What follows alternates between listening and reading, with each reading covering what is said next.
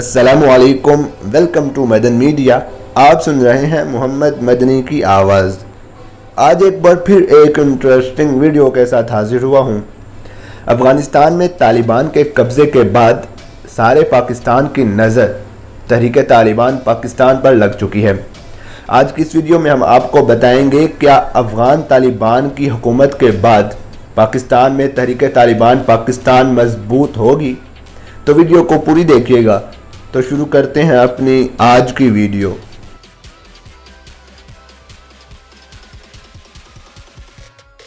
अफ़गानिस्तान में तालिबान की हालिया कब्ज़े पर पाकिस्तान में एक जानब जहाँ मजहबी हल्के खुशी का इजहार कर रहे हैं, वहीं मुल्क के आला हुकाम और सिक्योरिटी माहरीन, इससे मुल्क में कालदम Tehreek Taliban Pakistan T T P जैसी कालदम मजहबी शिद्दत पसंद तंजीमों को तकवीत मिलने का खदशा ज़ाहिर कर रहे हैं।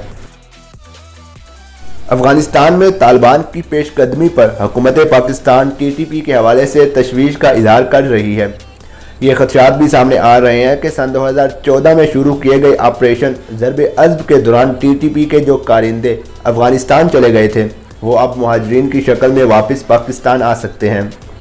पाकिस्तान के वज़ीर खारजा शाह महमूद कुरैशी ने सैनट के कायमा कमेटी बर खारजा अमूर के 9 जुलाई को होने वाले इजलास में ब्रीफिंग देते हुए कहा था। अगर अफ़गानिस्तान में तालिबान गालिब आते हैं तो पाकिस्तान के कबायली इलाकों में टी टी पी जैसी शिद्दत पसंद तंजीमों को तकवीत मिल सकती है। इस इजलास में पाकिस्तान के वज़ीर अजम इमरान खान के मशीर बरए कौमी सलामती। मोईद यूसफ ने बताया था कि टी टी पी के दहशत गर्द महाजरीन की आड़ में या बेस बदल कर पाकिस्तान आ सकते हैं। इससे पहले 2 जुलाई को फौजी हुकाम ने पार्लियामेंट के खसूसी इजलास में ब्रीफिंग के दौरान कहा था कि अफगान तालिबान और टीटीपी के आपस में रवाबत मौजूद हैं। पाकिस्तान और अफ़गानिस्तान में शिद्दत पसंद तंजीमों पर गहरी नज़र रखने वाले तजिया कारों का कहना है कि अफ़गानिस्तान से अमरीकी अफवाज का इनखला और अफगान तालिबान की पेशकदमी न सिर्फ़ Pakistani Taliban T T P बल्कि दुनिया में फैले हुए जहादी ग्रुपों के लिए एक अहम मौका है, जो उनकी तकवीत और बेदारी का सबब बन रहा है, मगर उसके असल नतज मुस्तबिल में सामने आएँगे। दूसरी जानब सरहद पार अफगान वज़ीर खारजा मोहम्मद हनीफ असमर का कहना था कि अफ़गानिस्तान में अफगान हुकूमत के ख़िलाफ़ टी टी पी और अलकायदा अफगान तालिबान के साथ मिलकर कार्रवाइयाँ कर रहे थे। पाकिस्तान के निजी टीवी चैनल जियो न्यूज़ को 9 जुलाई को दिए गए एक इंटरव्यू में हनीफ अतमर ने कहा था कि अफगान सूबे बदखशा कंदोज और फरियाब समेत दीगर सूबों में टीटीपी और अलकायदा की अफगान तालिबान के साथ मिलकर कार्रवाइयाँ करने की मुसदा इतलात हैं। तालिबान के ग्रुपों के अमूर से बाखबर स्वीडन में मुकीम महक्क अब्दुल सईद ने वॉइस ऑफ़ अमेरिका से बात करते हुए कहा कि अफगान तालिबान की पेशकदमी के हवाले से जहादियों का हालिया बयानिया टी टी पी की फिक्री तकवीत का सबब भी बन रहा है, जिससे उनकी सफ़ेद दोबारा मज़बूत हो रही हैं।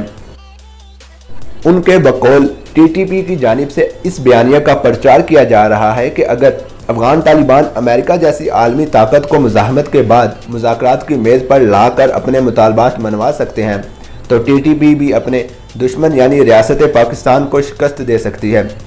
अब्दुल सईद ने कहा कि यह बयानिया टी टी पी के सरबराह मुफ्ती नूर वली महसूद के बयान से भी मिलता है। जिसका इजहार उन्होंने गुजशत बरस जंगजू दरों के साथ साथ मुख्तलिफ़ पाकिस्तानी रियासत मुखालिफ जहादी तंजीमों की टी टी पी में शमूलियत के मौका पर किया था।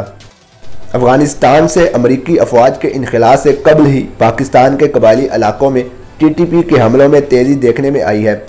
माहरीन टी टी पी के मौजूदा मरकज़ी अमीर मुफ्ती नूर वली की नाराज़ धरों को मनाकर उन्हें तंजीम में वापस लाने और मुल्क में फ़ाल अलकायदा और लश्कर जंगवी से वाबस्ता ग्रोहों को भी टी टी पी में शामिल करने की कोशिशों को इस सिलसिले की कड़ी करार देते हैं।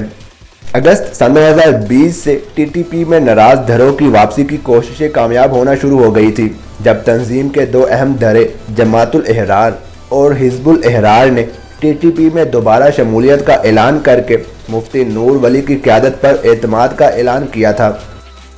टीटीपी के नाराज़ धड़ों के अलावा अलकायदा के दो अहम पाकिस्तानी ग्रोहों ने भी बाकायदा तौर पर टीटीपी में शमूलियत इख्तियार की है, जिनमें से एक हाल ही में हलाक होने वाले अलकायदा बर सग़ीर के नायब अमीर उस्ताद अहमद फ़ारूक के करीबी साथी कमांडर मुनीब का ग्रुप है।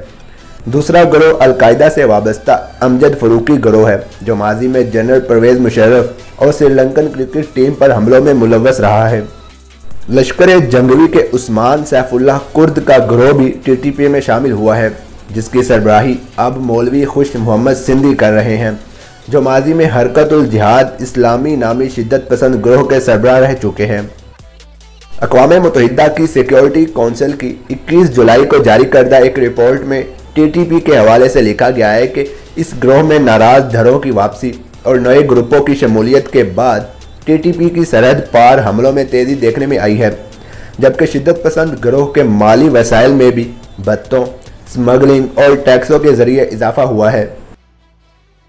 अफगान तालिबान के तर्जुमान सुहेल शाहीन से जब हाल ही में एक इंटरव्यू के दौरान जब टीटीपी की अफ़गानिस्तान में मौजूदगी के बारे में पूछा गया तो उन्होंने कहा कि हम किसी फ़र्द या ग्रोह को इस बात की इजाज़त नहीं देंगे कि वो अफ़गानिस्तान की सरजमीन को किसी और मुल्क के ख़िलाफ़ इस्तेमाल करे ये हमारी पॉलिसी है। इस्लामी शिदत पसंद तंजीमों के लिटरेचर पर तहकीक करने वाले इस्लामाबाद में मुकीम मोहम्मद इसरार मदनी कहते हैं, अफ़गान तालिबान और टी टी पी जदीद रियासत जमहूरीत वोटिंग हती के खुदकश हमलों जैसे बुनियादी मसाइल पर अलकायदा ही के बुनियादी लिटरेचर को इस्तेमाल करते हैं। उनके बकौल अफगान तालिबान पाकिस्तान की हदूद में कार्रवाइयाँ नहीं करते। इसलिए पाकिस्तानी सिक्योरिटी इस्टेबलिशमेंट का ख्याल है कि वो रियासत पाकिस्तान के ख़िलाफ़ नहीं। लेकिन अफगान तालिबान पाकिस्तान के कहने पर अफ़गानिस्तान में टी टी पी के ख़िलाफ़ कार्रवाई से भी गुरेज करते हैं। तो ये थी तहरीक तालिबान पाकिस्तान की बदलती सूरत हाल जैसे जैसे अफ़गानिस्तान में तालिबान को टाइम गुजरता जाएगा वैसे वैसे इनकी असल सामने आते जाएगी। आपको ये वीडियो कैसी लगी, मुझे कमेंट सेक्शन में लाजमी बताएँ। वीडियो अच्छी लगने की सूरत में लाइक करके ज़्यादा से ज़्यादा लोगों तक शेयर करें। मज़ीद ऐसी वीडियोज़ के लिए मेरे चैनल को सब्सक्राइब करके, साथ लगे घंटी को क्लिक करके आल पर कर दें, ताकि आपको मेरी हर वीडियो का नोटिफिकेशन टाइम पर मिल सके। Thanks for watching